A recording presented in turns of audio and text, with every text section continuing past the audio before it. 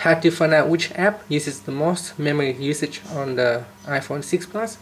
So if your phone is running out of space, then you probably want to find out uh, which app uses the most memory so that you can uh, remove some of them.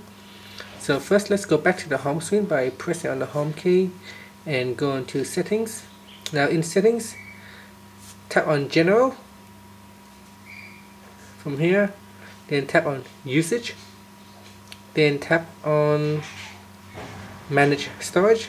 And manage storage you can see from the list it shows you um, the apps that uses the most memory at the top and then going all the way down to an app that uses the least memory. So you can see here photos and cameras using up 2.9 gig. So if you're taking a lot of photos and videos then you might find that your phone even using up to 8 or 9 uh, gigabytes of memories and uh, what you can do is you can go into this app and then you can see a breakdown of where all the um, usage is. So you can see here in photo library it uses 2.9 so you can open up the photo apps and delete some of the photos and videos to uh, clear up some uh, storage space.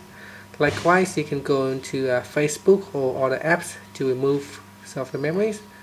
So in here you can either delete an app or you can uh, tap on documents and data and so in here you can't go in any further down but it tells you you're using up 139 megabytes of data.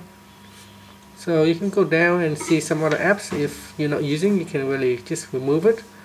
So there's not much in here for example Gumtree. Uh, if you're not using it you can just remove it. So that's how you can find out the, the, the memory's usage on your phone. Press it on the home key to go back to the home screen. Thank you for watching this video